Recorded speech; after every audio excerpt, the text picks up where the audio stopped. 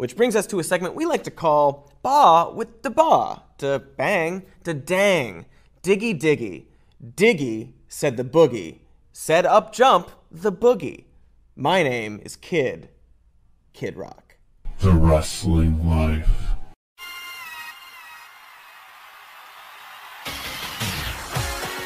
Hey everybody, it's the Wrestling Life. It's episode 298.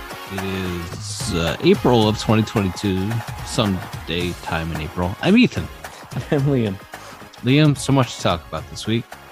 And as always, so many things we can't talk about. Right here on the first, and still the only, somehow, still the only wrestling podcast. That's right. So WrestleMania happened this past weekend, and all the accoutrements that go with it. A Tony Khan Ring of Honor show, a Tony Khan press conference, uh, a lot of GCW events at the Collective, Joey Janela's Spring Break Parts One and Two, for the Culture, Planet Death, just four million shows. Uh, Friday, Thursday, Friday, very busy days. WWE Hall of Fame with Undertaker's TED Talk. and then the uh, NXT Takeover on Saturday afternoon, and then finally the two nights of WrestleMania Saturday, Sunday. What did you see? What did you like about uh, weekend shows that were not WWE? Yeah, so I watched uh, night one of Joey Janela's spring break show. It was uh, not a great show. um, it it you know there was some fun stuff on it. Allie Katch and Mickie James had a had a match, and uh, and then there was a a pretty fun. I did I did enjoy Joey Janela versus X Pac for what it's worth. It was not a a classic, and uh, X Pac was working with a torn bicep as it turned out, and um, but I thought they still put in the effort and, and still had a pretty darn good match. Uh, uh, and I, I thought uh, I didn't I didn't think much of Moxley's match, but uh, I thought the main event, which was um, just Alex Colon and John Wayne Murdoch in a death match for the whatever they call their hardcore title, the ultra violent title. That's right. Um, thought that was really good uh, up until I thought the finish was very odd, and I couldn't. I didn't hear anything about Alex Colon being like actually hurt, but the the finish, which I guess maybe was also playing off uh, maybe a real injury he had had in February or something. But they did a spot where he went to clothesline uh, Murdoch and he hit the hit the corner post and started selling like it was his arm was broken or something, and then like a minute later, Murdoch just put him in an arm breaker and submitted him. So it was kind of a flat ending, but uh, you know, it was a GCW show, which you know it had some high highs and and uh, some some also some stuff that I didn't think was as good, but it was uh, it was certainly memorable. It had a good atmosphere to it. And then, yeah, Friday I watched the the Ring of Honor Supercard of Honor show, um, which was also I thought I thought top to bottom was a pretty strong show as far as the wrestling. Uh, I didn't think Willow Nightingale and Mercedes Martinez were was was very good, but the the rest of the card I thought was was pretty solid. I think the standout match, obviously, maybe you could argue of the entire weekend, was the FTR Briscoes match. Um, that was fantastic. As uh, as the number one FTR hater on uh, on the planet, I I will begrudgingly say that they had two very good matches this week. Um, and uh, yeah, I thought I thought that was really good. The main event, I I've seen both Bandito and John Gresham have good matches, but I did not think they had a good match with each other. Um, so I thought the main event was a little flat, but then the main event almost was kind of just the precursor to what everyone was really talking about when the show was over, which is that Samoa Joe showed up. Yeah, definitely. Uh, I don't know that it's super unexpected that he ended up there, but maybe the time and place was um, unexpected. Yeah, I think uh, I think we we touched on it briefly last week as as we have perhaps discussed a bit in the past. Tony Khan has a has a fondness for announcements and for teasing a teasing a big surprise. And he had mentioned in one of his various interviews that he does, Busted Open or one of those shows, that uh, he, he said he had heard some fans or seen some fans tweeting about leaving the Ring of Honor show a little early to make some other show. And then he said, "Oh, that's that's not. I wouldn't do that because there's going to be a really big deal at the end of the show that you're going to want to be there for." And I was like, "Well, at that point, it's like, what could be a really big deal?" And I was like, to me, it had to be either like Danielson or or a new person. And it's like, who would be a new person that would debut at a Ring of Honor show that would make sense and would be seen as a big deal to fans of ROH and Ring of Honor? And at that point, I was like, yeah, okay, Joe, Joe seemed Joe would be on that list um, at the very least. But yeah, I mean, it's he's uh, he's back and he's wrestling and they're shooting angles and they shot an angle on Ring of Honor at the end of the show with Jay Lethal turning heel and and Joe showing up to run him and Sanjay Dutt off, and then they uh, they continued that story on Dynamite this week. But we can get to that in a moment. So we have to watch Ring of Honor now, and we have to watch Dynamite now, and oh boy. Look, at the very least, on Dynamite, they did show recaps, so they didn't expect the 900 some thousand people having uh, uh, uh, that watch Dynamite every week to have seen this ROH show. But yeah, it looks like they will be, in addition to the Dynamites and Rampages, the ROH shows will also have angles that lead into things on AEW television going forward. Thrilled. I'm thrilled that I get to watch not one, but two Tony Khan booked promotions. Mm-hmm. It's wonderful. All right. So then uh Friday night uh, Hall of Fame. I still not have seen the Hall of Fame because I had to be I forget what I had to watch. Rampage, I think. Mm. I think I had to watch Rampage during the Hall of Fame. Apparently the Undertaker gave a TED talk and is auditioning to be a televangelist or something. Yeah, I uh, I watched most of the Hall of Fame. I kind of uh, skimmed Undertaker's like because he talked for like 50 minutes, and I don't think he's an interesting enough guy to uh, to talk for that long. So I did. Uh, he, you know, there's some nice stories he told. Uh, you know, he shouted out to Shawn Michaels and and mentioned you know talk told a story which I hadn't heard. He may have told it on the the one of the documentaries last year, but about you know they were told they were going on third at WrestleMania 25 and they, they had 15 minutes and then they without saying this he said he basically they they pitched a fit and got put on later in the show and got more time and that once they were done they had uh, you know everybody that had to follow them wished they had gone on last and all that stuff so it's like there's some nice moments in there as far as him shouting out Triple H and Shawn and and uh, and Kane and whoever else. Didn't mention Foley, which I thought was interesting, considering you know that guy kind of that middle part of the of Undertaker's career where he wasn't having good matches and wasn't a hot character. Uh, Mick Foley, pretty big part of of helping him through that era, and did not get a mention. But uh, Well, the the the the WWE narrative is that Undertaker made Foley, not vice versa. Mhm. I guess so, but yeah, he uh, he did not. Um, so uh, again, so he he talked for a long time. It seemed like a nice enough speech. You know, he got real emotional talking to his talking about his children and stuff like that. So it was, you know, if if you didn't know what a, what type of person he was, uh, you probably you could probably really enjoy the speech. Um, uh, I think the highlight of the Hall of Fame for me was probably the the Shad Gaspard uh, getting the getting the Warrior Award, um, minus the giant warrior statue and, and Dana Warrior being out there. Um, Sure, sure. um, but you know, JTG brought Shad's wife and son out, and then DHD and Shad's son did the crime time like handshake. It was very, very sweet. And then uh, Shad's wife gave a very, very nice speech. Um, and I thought Sharmell's speech was fantastic too.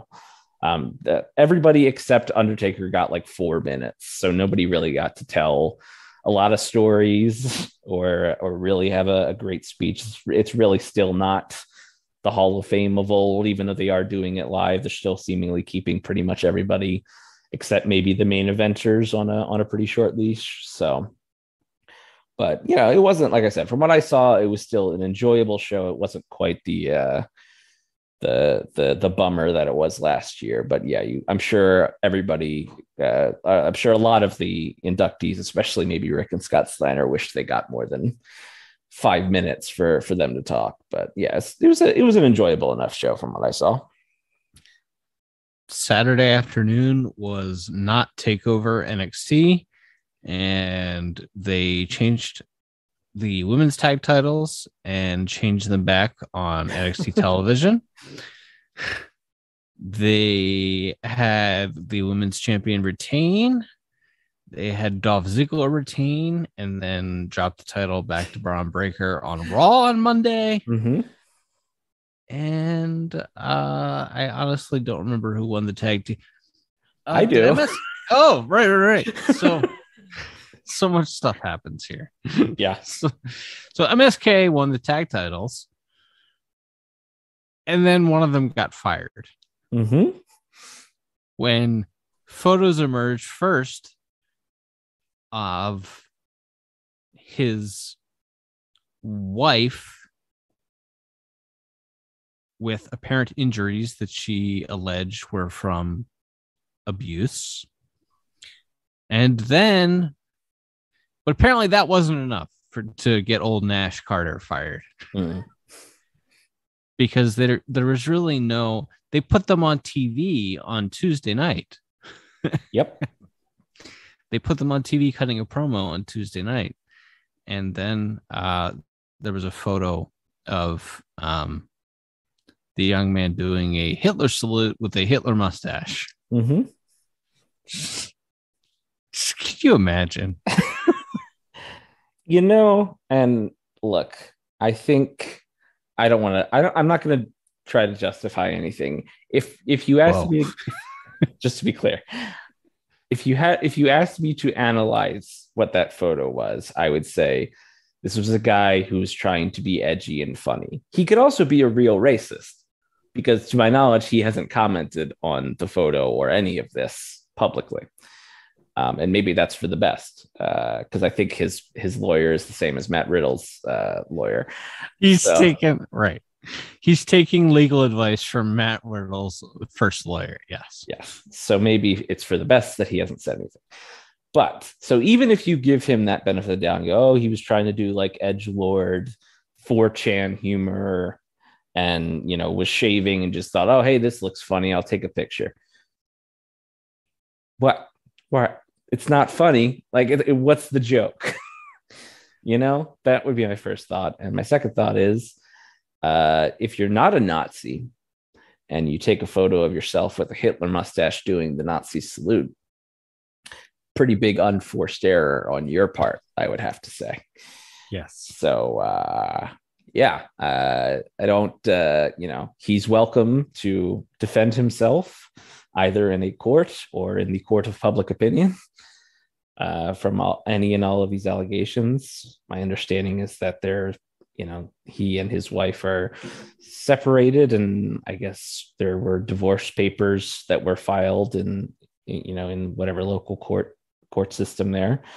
But uh, yeah, as far as the other stuff goes, uh, yeah, pretty pretty big unforced unforced error is the uh, is the phrase that keeps popping into my head when I think about most of this, if not all of it.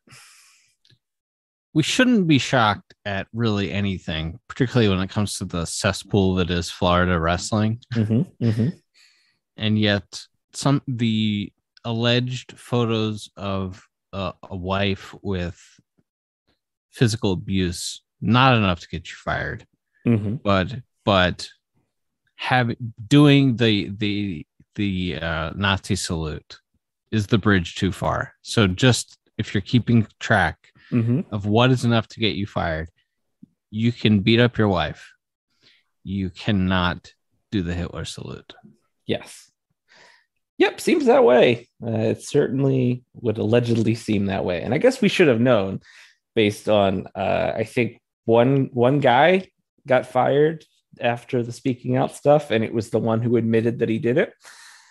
So I think, generally speaking, if a WWE's internal investigations when it comes to allegations of abuse or sexual misconduct uh, seem seem to, from an outsider's perspective, of course, uh, seem to be they go, "Hey, dude, you do this?" And that guy, if that guy goes, "Nope," then they're uh, they're pretty good with that. It seems so. But uh, I guess the the yeah, it seems like the other photograph was the uh, was the deciding factor in in this guy getting released.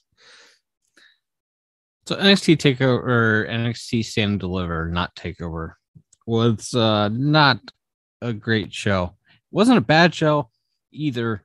It was just not really worth your time on a Saturday afternoon when there were like 900 more hours of wrestling to come that day. Mm-hmm. And then uh, WrestleMania night one happened, and uh, boy, was that show a lot of fun. Uh, Mm-hmm. yeah, it was pretty. Uh, it was pretty darn fantastic. It was. It was in fact pretty stupendous. I have to say. Indeed, in indeed. Uh, the unfortunate part was when uh, Rick, old Rick Boogs' uh, leg buckled in the opening match, and he tore his leg up apparently, and uh, they may or may not have changed to finish. I don't think the Usos were losing titles regardless, but um, maybe the mechanics of how that finish went about uh, changed. But uh, Rick Boogs got hurt. Uh, Happy Corbin was supposed to have a special entrance with a Rolls Royce. The Rolls Royce wouldn't start. Um, Drew McIntyre beat Happy Corbin and then chopped the ropes with his sword. I don't know what we're doing here. The Miz and Logan Paul beat the Mysterios, and then the Miz turned on Logan Paul because apparently it was in his deal that he was going to be a babyface. Who, who could possibly care? And then, and then the show got really good, like halfway through it, with uh, Bianca Belair beating Becky Lynch for the Raw Women's title. Bianca's face got messed up. Uh, she's wearing sunglasses on Raw and posted a photo of. I I know you were speculating that uh, maybe it was a broken orbital orbital, Mhm. and certainly, if you've watched enough MMA and you've seen guys break their orbital bone and the way it swells up like that, it, it's possible. But I feel like maybe we would have heard. But anyway, she got a really bad black eye. But she and Becky Lynch had a really great match, one of the best matches of the weekend, uh, without question. Mhm. And they pulled the trigger, and Bianca Belair actually beat Becky Lynch. Yeah, I uh, I was we we had discussed that a bit last week that we were concerned that uh, we might uh, we might stall we might stall out at the right at the finish line there, but uh, thankfully they they pulled the trigger because again, long term, if you want Becky Lynch to be your champion, there's ways to get the belt back onto her, but for the story they were telling, Bianca really had unless you're going to fire Bianca, there's really no other solution in my mind than she had to win on that night with that story with the eight months of buildup or whatever that they had they had uh put into this. So yeah and they had a fantastic match. Uh you know becky i thought you know becky for me in the ring is not always a guaranteed home run she doesn't she doesn't strike out very often but she doesn't hit a lot of home runs either um, for me. So I thought, but I thought she and Bianca gelled really, really well together. And you know, the match is all sort of built around Becky just keeps cutting Bianca off every time she gets on offense for the first half of it. And you just really build up Becky being this bully and just being angry and again pulling on Bianca's ponytail at every opportunity. And and then uh, yeah, it it led to I think one of the coolest finishes I've ever seen which is where you know Bianca or, or, Becky pulls her up for the the rock bottom, and Bianca somehow lands on the second turnbuckle, does a backflip, ducks the clothesline, and then hits the KOD and and pins her. Like it was the coolest thing. It was pulled off flawlessly, and yeah, it was amazing. It was amazing, and uh, and it was it was a great time, and the right person won, and it was a nice happy moment on this show. Then Cody Rhodes came back and wrestled Seth freaking Rollins. And uh, Cody Rhodes came back with his AEW music, with his giant neck tattoo, with his neck tattoo's logo 3D doing the weird 3D graphics thing mm-hmm. that WWE does all over the place. Tell you what, that the previous match and then uh, the wrestling has more than one royal family hitting. Uh, just an absolutely bonkers half hour or so there in in, uh, in Dallas. Absolutely. Because again, we talked about it a million times about like we think he's coming in, but like I think even now I didn't I didn't think they'd let him use that music. I didn't, you know, I thought maybe he would get American Nightmare. He couldn't do anything about the neck tattoo, I guess theoretically, but no, it was they did the same entrance with him rising up on the platform they did they, yeah they left in they left in the word wrestling in his intro like there was this was absolutely uh you know AE, the AEW Cody Rhodes character just transported into WWE and it was great and it's an example and again this happened a lot in the 1990s but it's been so long since we had like two you know viable wrestling promotions in the US you know running at the same time that like a guy who was maybe feeling a little stale and a little outdated in one place shows up in the other place and I mean, obviously we've seen a lot of that the other way in WWE stars going to AEW but here's an example of an AEW guy who felt like kind of a man without a country. And then he goes here and he's like instantly the number one baby face in the company at least on the men's side. Like in in in one entrance it felt like he was he was the biggest star on the whole show. Charlotte beat ronda rousey in a match. No one could deny the bell rang at the beginning there was professional wrestling then there was a finish and the bell rang again to signify that the match had ended yes that's what happened uh, that's really all that happened uh, yeah Ronda Rousey either was big mad or was not big mad. Don't print in the newspaper that she was mad. that Steve Austin went on last on night one of WrestleMania. She was very not mad that she had to go on before Steve Austin. I took that to mean when they made the deal to bring her back, they told her, look, you're main eventing WrestleMania and you're probably winning or you're winning. And then they broke they broke those promises. Mm-hmm. Wouldn't be the first time. nope. Nope. It's like you could tell what they think of somebody though by whether or not there's people that they they would that they would do that to. They would do that to Bret. They would do that to Ronda Rousey. Mm-hmm. They would not do that to Hulk Hogan, Steve Austin, John Cena, or The Rock. Mm-hmm. Yep, that's that's one hundred percent true. So that's that happened. It was a match clearly designed to build to a rematch, and Ronda and Brock are working WrestleMania Backlash. Still feels to me like at any given point, Ronda just could just go home. kind of makes the shows more exciting in that way um, because her yeah. promos don't.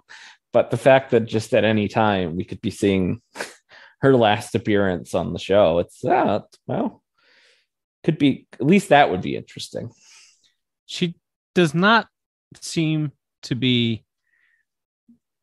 There's a, there is a, there's an element of her matches in her first run that is probably what um, made it so that she doesn't have very many friends in the company. It's like she was she did not train a whole bunch mm-hmm. and was a real athlete at a very high level. Uh, maybe not a real striker, but she was a very good athlete. She had, you know, Olympic bronze medal, medal or whatever it was in judo. There was a an, a, an unpredictability. There was a violence to her matches.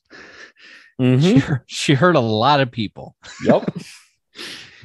she hurt a lot of people. That's why her versus uh, Nia was so much fun. Yeah. Just wailing on each other in there. Yep. There was a violence to her matches. And whatever it is in this run, that doesn't necessarily seem to be there, but also the matches just aren't, I don't think they're very good. Uh, it's like you're a few years older, you're a few years out of not really doing a whole lot of athletic things.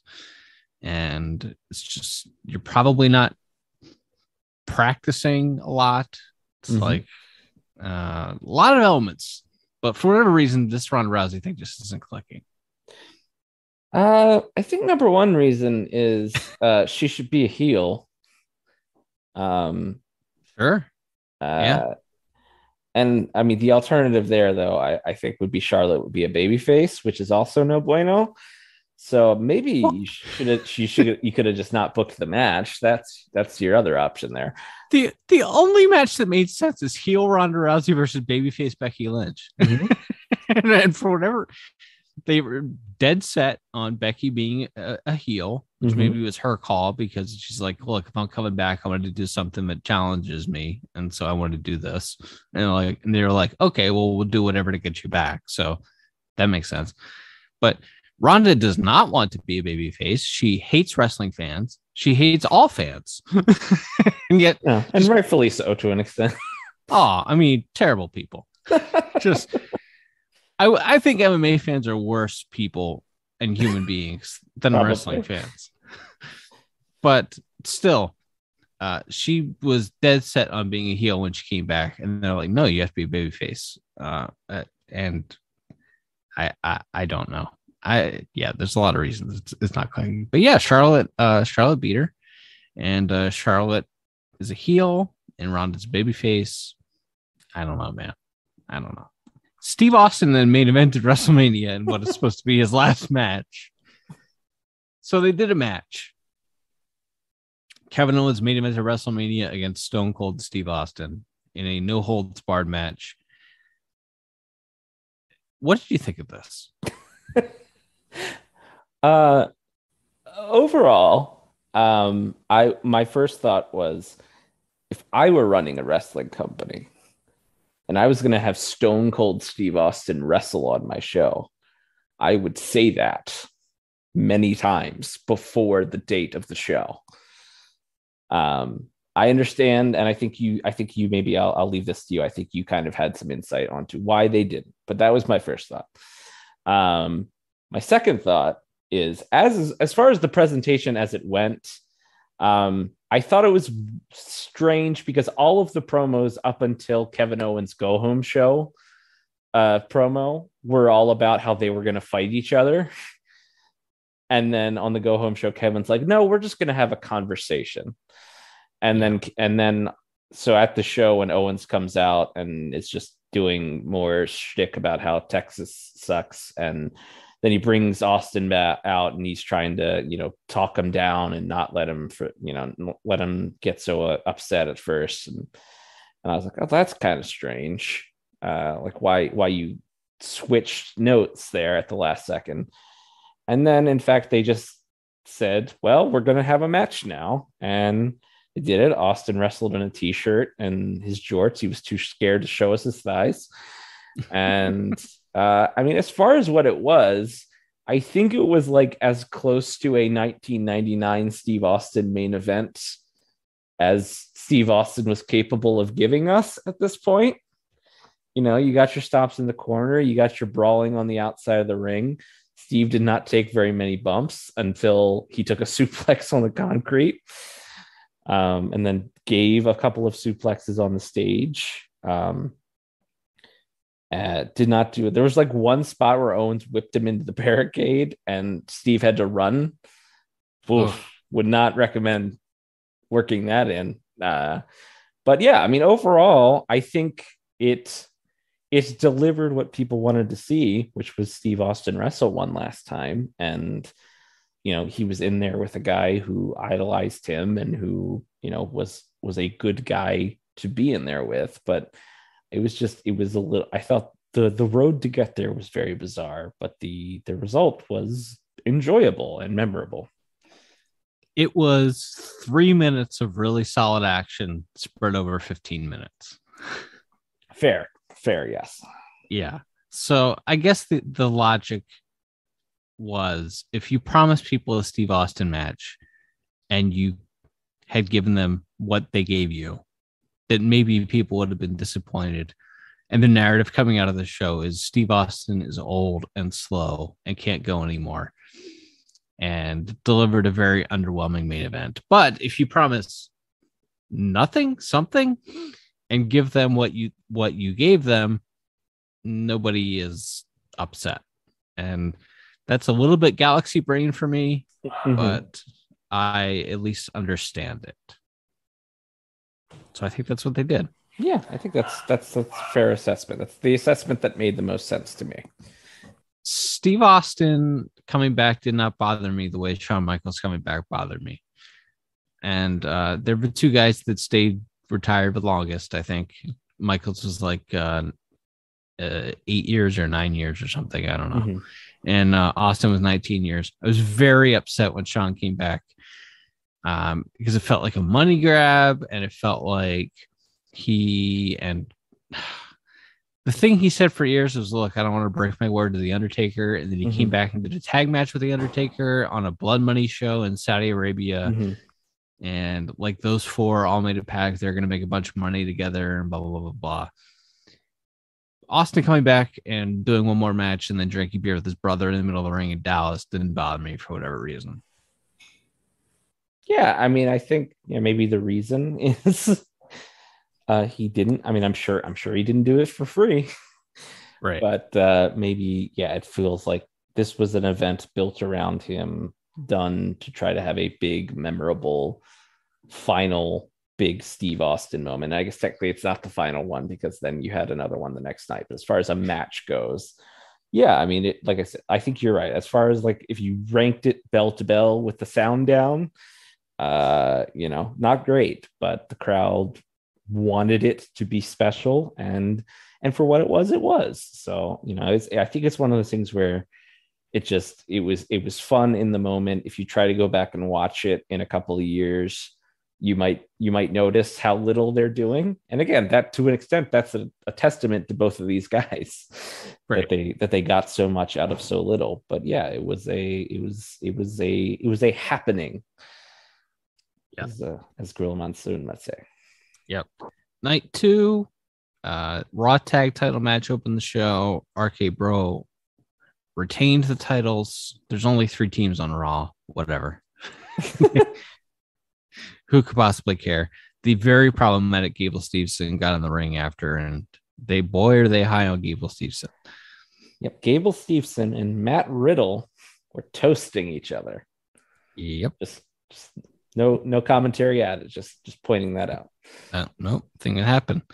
Bob Lashley beat Omos, so doesn't seem like a good time to be Omos here.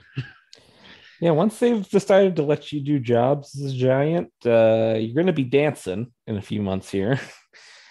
and uh, then, you know, depending on what they're paying you, you could be out of a job and they'll move on to the next giant in, in, in a year or two. They did give Omos MVP on Raw the next night, and uh, Lashley turned babyface, and, and um, and Omos is still a heel, I guess, with MVP as his mouthpiece.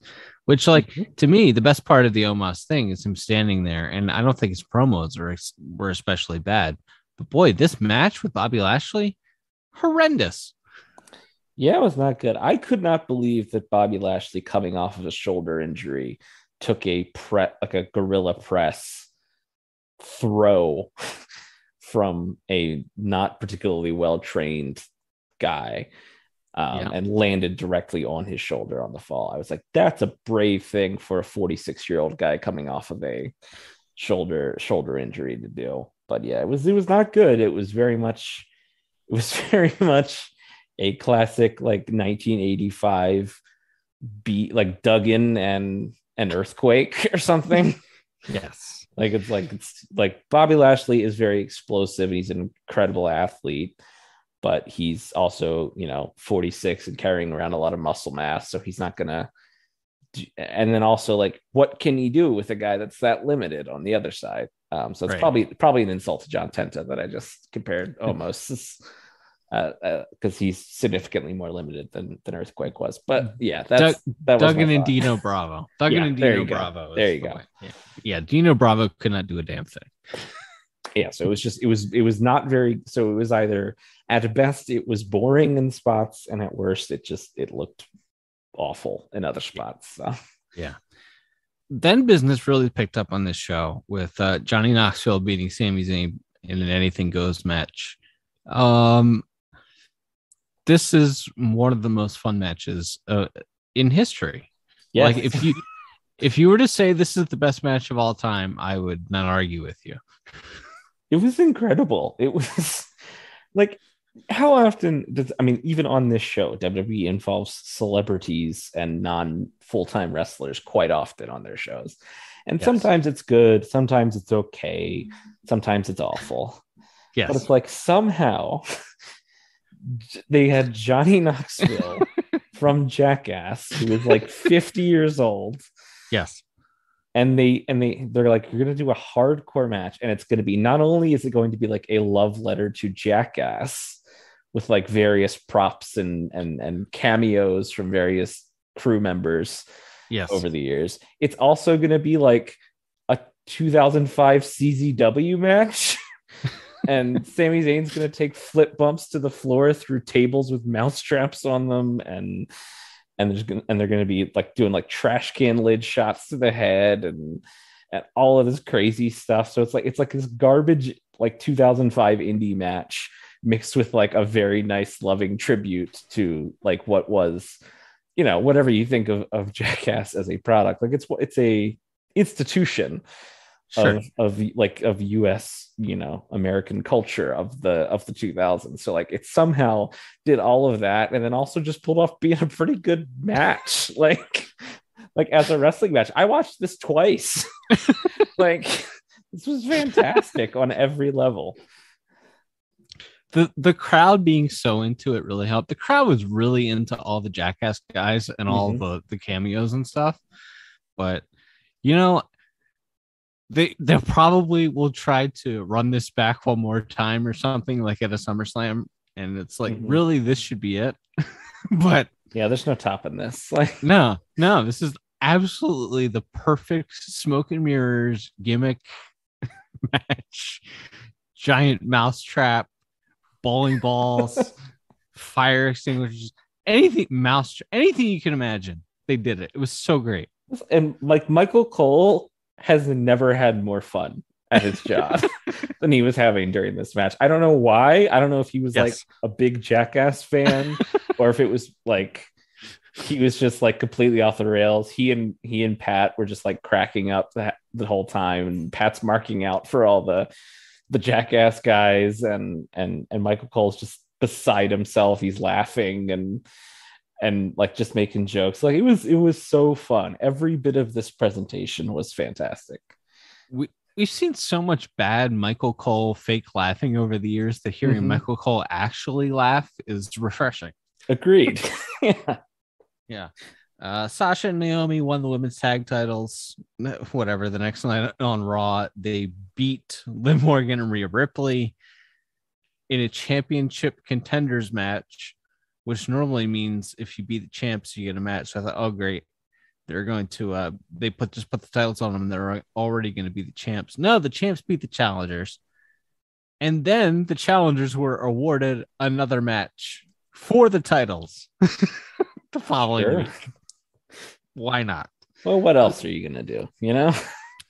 Yeah, well, they're setting up. You know, it appears that they're selling up, setting up uh, Rhea Ripley uh, turning on Liv Morgan, obviously, Mhm. and it actually ties into the next match, which uh, Edge beat AJ Styles with help from Damian Priest, and I guess there's the word is that they're giving Edge a little stable here with Edge, Damian Priest, maybe Ciampa, and maybe Rhea Ripley, and it would make sense if Rhea is going to go heel for her to be a part of that group, I suppose. I, I guess that works in the sense of like Edge can I, I I to be fair, I don't think she's had a lot of opportunities to do so, but Rhea maybe isn't a super strong promo, especially if she's trying to be a heel. So you could potentially have Edge be working as a manager in some spaces for her. Also, I assume Edge isn't going to be on the road, or at least not going to be wrestling every Right. month. Like last year, he took a pretty long break after Mania.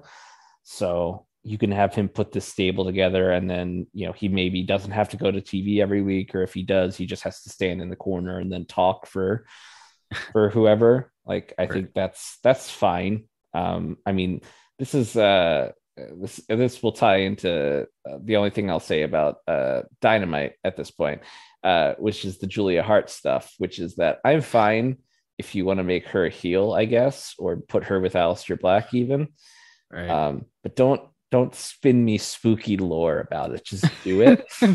That's and that's kind of my stuff with edge and and this group of he's like he just he's opened up the thesaurus. So he's like he's taking he's like a little bit Aleister Black. He's a little bit like the Nick Bockwinkel Chris Jericho heel because he's using big words and wearing a suit. And then he's mixed in like some corporate ministry or something like that in there as well. Yeah i'm not entirely sure what he's up what he's up to or what what this what this is in his mind but it's um it is He- one of those things where you'd like to ask him hey hey Adam big big fan Like, Yes. What, what what do you th- what does this look like in your head? And then Yes. how close to what we see on screen is what is is that? yes i'm not i'm not sure but we'll see what happens there going forward Sheamus and ridge along with their pal butch who they grew up with in the pubs of dublin ireland beat the new day in a match that was cut from night one and got one minute and 40 seconds on night two We simply Sure. didn't have the time. Sure, why not? Well, because the next, because Pat McAfee beating Austin Theory had to go 10 minutes. Mhm. And then Mr. McMahon wrestling against Pat McAfee and beating Pat McAfee. Austin Theory couldn't beat Pat McAfee, but 76 year old Vince McMahon could beat Pat McAfee in four minutes. Whatever. It was an angle to set up Steve Austin coming out, and it was good in that sense. yeah, no, I it, I I would have maybe just you know had Vince get in get in McAfee's face and have Theory beat him down and then hit Austin's music. I don't think he had to do the the match. I I was reminded, I forget who said it on Twitter. They're doing that Netflix documentary about Vince, Yes. and I wonder if maybe this is the finale of it. Could be. um, or that this will at least play a chapter in it that he, he came out of retirement to have one last WrestleMania moment with Steve Austin. And good good a theory as any, as and- I've heard. yeah, and again, I don't know why to do that. You also had to have a weird four minute match where I thought that Okada versus Tenryu was like the most immobile I had ever seen a man in a wrestling ring when Yeah. Kazuchika Okada had to power bomb himself Yes. at uh, like a 2015 retirement show for Tenryu. Vince McMahon less mobile than that guy somehow. Couldn't do anything. Couldn't lift his arm to hit a clothesline. Couldn't Yep. Could couldn't- not do one single thing. no. Could barely could barely want. And then yes, uh, and it did all lead to the funniest thing of the entire weekend, which was him trying to take a stunner, which he was he was not good at when he was 50 years old in 1997 or whatever. Uh, Right. and it was even worse. It was it was the worst stunner of all time, which in turn kind of made it the best stunner of all time. Yeah. Yep. Seeing him in a black tank top and blue slacks was hilarious too, by the way. Mm-hmm. I don't know why, but yeah. Uh, Roman Reigns beat Brock Lesnar in kind of a dud main event. This Yeah. didn't do anything for me. Yeah, like I didn't like the crowd didn't turn on it this time. so there's that. Um, but yeah, it was it was the Roman Reigns and Brock Lesnar match. It's that match they always have, except maybe a shorter version, and maybe Brock got his bell rung at one point, and maybe Roman hurt his shoulder or something. Hard to say, but yeah, Yeah. they just they just went like 12 minutes and Roman beat him with a spear. It wasn't uh, particularly eventful. Suplex Superman punch, suplex Superman punch, spear through the barricade, spear kick out, F5. uh, F5 kick out, spear kick out, F5 kick out. Yeah. Yeah. Yeah. I'm back to the point where I don't need to see this match template again for a long time. but yeah, so we'll see. We'll see where they go here. And then the next night, Cody Rhodes opened the show on Raw saying he's going to win the WWF title. His daddy never won. Um, very nice. Roman Reigns said he'll let us know what he's doing on SmackDown. okay, great. Sounds great. Mm-hmm. Uh, uh, Veer showed up. Not a whole lot happened on the Raw after WrestleMania, which, frankly, I'm okay if you want to kill the concept. But boy, did they kill the concept. Well, it's just and it's funny because it turned out they had their biggest audience since like January of 2021 for this show. So you probably should have shot an angle. Yes. but I think their mindset was we're everybody's burnt out and it's we're going up against the NCAA finals. So we'll have Cody come out in the first hour. We had the very exciting uh, return slash debut of of Ezekiel. Oh, that's right. The And return. Yes. Don Morocco walked out on Raw this week to to do a segment with Kevin Owens. Yeah. And then Sure. uh, and then we just sort of punted for the rest of the the two hours. Nothing nothing on the show was bad, but uh, yeah, it, it, it all led to a main event where Roman Reigns did his entrance, said his catchphrases, and then said, "I'm not doing any angles tonight. I'll see you Friday." Well, all right. And then Cody beat uh, Kevin Owens in a dark match. Like Mhm. I, I understand not wanting to put that match on TV necessarily, but uh, you did screw the uh, the two million people who watched, and you rewarded the twelve thousand people in the building. Which, eh, I understand it, but yeah, better than screwing them both over, I guess. I, suppose. But yeah. Uh, Dynamite had a real good Young Bucks FTR match and a bunch of stuff setting up a live rampage next week and a Battle of the Belts show next week and a tables match with the Hardys and the Butcher and the Blade, which Woof. had the. I I can't begin to understand. I just can't begin to understand. Uh, what'd you think of Dynamite this week? yeah, I thought the opener. I thought it was a a well bookended show. Mm. and a lot of stuff in the middle that I didn't enjoy. Um, I thought the opener with Adam Cole and Christian was really, really good match. Uh, uh, Christian can still have really good matches, uh, and Edge cannot. Um, and then I thought the promo afterwards with Hangman Page was fantastic. Um, and set up that that main event. Fascinating to me that they're doing it on the Rampage and not the belt show, but I guess I guess those are just kind of punts at this point. I guess they've just decided they're not gonna try. I'm not going to hard, try.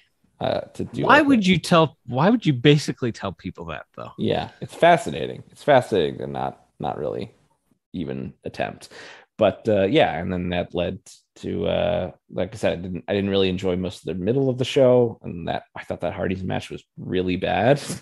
And I don't blame their opponents for that because they've had good matches and good hardcore brawls with other people. Um, and then yeah, I thought the main event was absolutely fantastic, and you know maybe as good, if not better, than the Briscoes match from from earlier in the week that FTR had. So um, yeah, it was really good. I was a little surprised that it was just a clean finish and FTR won. Um, I thought I think in my head this was this it made sense for the Bucks to win again here, and then you set up a rubber match, or you set up the a third match with them, you know, with FTR finally getting the big win there as baby faces, but they gave it to him here instead. They did. My only knock on that match is they did the foot on the rope, ring the bell, Mm, restart the match thing. that's fair. Uh, yeah. So even if you just even if you don't ring the bell, or or if you do that spot, just don't ring the bell Mhm. because the ringing the bell takes the fans out of it. And then you announce, okay, no, his foot was on the rope. We're restarting the match, like Hogan and Randy Orton at SummerSlam 2006. It was just like you don't have to do the foot. You don't have to ring the bell. The ref can just Mhm. realize it. Anyway, that's my only knock on that match. Yeah, I mean, I, I thought, yeah, I thought it was it was really really strong. It was it was a total like young bucks match, but it was kind of fascinating to see them do that and still be the heels, and for the crowd to really embrace FTR as as baby faces was was pretty fascinating. I think FTR are better suited to be baby faces. because it's less of them on offense, which is when I get a little bit bored watching their matches a long a lot of time. I think they both guys have good fire. They're both good at selling, and and I think I think they could be they could have a good fun run as baby faces and maybe actually live up to what a lot of people uh, were hoping they would be in AEW. Uh, which again, for my money, they really had not, uh, other than a few matches with Sting and and uh, CM Punk, and then the two matches with the Bucks. So uh, a really good week for FTR. And you know, uh, jokes aside, I don't I don't want to take anything away from them. They've worked really hard, and again, I think they I think they're great, and I, as baby faces in, in these in those two matches, and I'd like to see them go on a run as baby faces. Maybe that would be good for them and would would help freshen them up going forward. I think the problem though is the only problem with that is that uh, just naturally very unlikable people. They're a bit cantankerous, you know. Yes, yes, but we'll see. All right. Oh, and Samoa uh, Joe, uh, Samoa Joe beat the tar out of of Max, Max Caster. That was fun. Yeah, in the uh, in the uh, the Owen Hart tournament. All right. Anything else? No, I think that covers it. It was I've watched so much professional wrestling in the last the last seven days, and uh, yeah, most of it I am happy to say was somewhere between pretty good to great. So I don't have uh, I didn't I didn't watch a lot of bad wrestling in the last week, which I appreciate. Uh, I thought everything for the most part. WrestleMania, I had really no expectations for, and I thought both. I thought Saturday especially was a great show. I thought Sunday was good enough. and then I thought uh, I thought Dynamite this week, like I said, had some good wrestling on it, and then the ROH show had good wrestling on it. So watched a lot of wrestling, saw a lot of good wrestling. So two thumbs up for the last week. All right, roll tide. Uh, until next time, I'm Ethan, and I'm Liam. We'll be back soon with more stories from the wrestling life. Adios.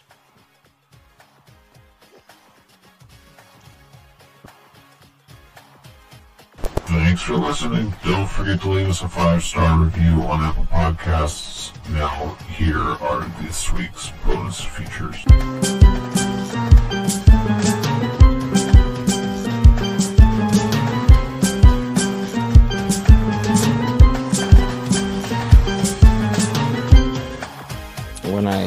Worked for a, a home improvement company and was supervising the door to door people, there's a kid uh, uh, every day, I would say, "What's up, Jave? How are you?" And he would say, "You know what, man? We out here." And I'd be like, "Yeah, yeah, we are." I, and so that's generally it's one of my my go to responses when people ask me how I'm doing. I'm like, "You know what? We out here." Makes sense. I like it we in fact out here. Yeah. I'm not not going to bury anyone by name because I think sometimes they might listen to the program here, but I'm supposed to have a phone call with someone today at five o'clock. They no called, no showed. Hmm. 545 or so, get a message saying, Oh, I screwed up time zone math uh, I need to, uh, can I, are you free at six? And I said, yes. Mm-hmm. No call, no show at six. Get a message at 620. Sorry, I got, I lost track of time.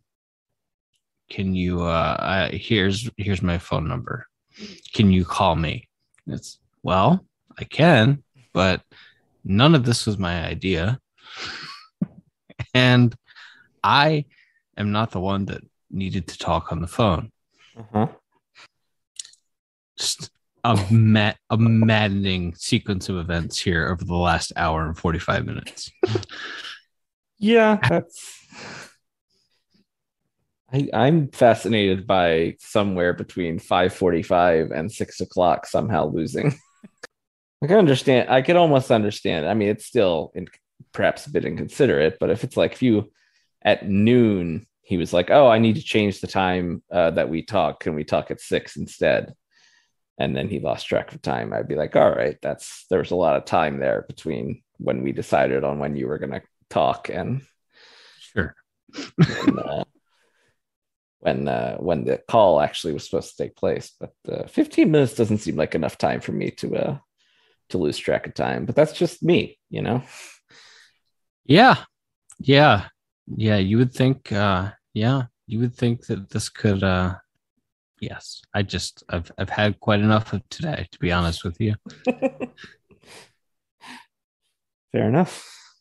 And, uh, the day's only just begun. So there we go. Get to drive to New York tomorrow. Oh, that's tomorrow, is it? It is. Yeah. Hope, hope she's uh she's not all brothered out, you know. Certainly hope that if you're paying money for a photo opportunity and an autograph, that the person is sober and present in all ways. I think that's fair. I think that's I think that's a fair uh fair uh demand given uh given the price and uh the drive. Yeah, yeah, but I get a day off work, which is like my first day off work in uh, three years. So that's that's that's good. Awesome. What else would one do on a day off? You know, when you don't when you take a day off from wrestling, the thing you got to do is go do a wrestling thing. terrible, oh, absolutely terrible. I try to keep on keeping on.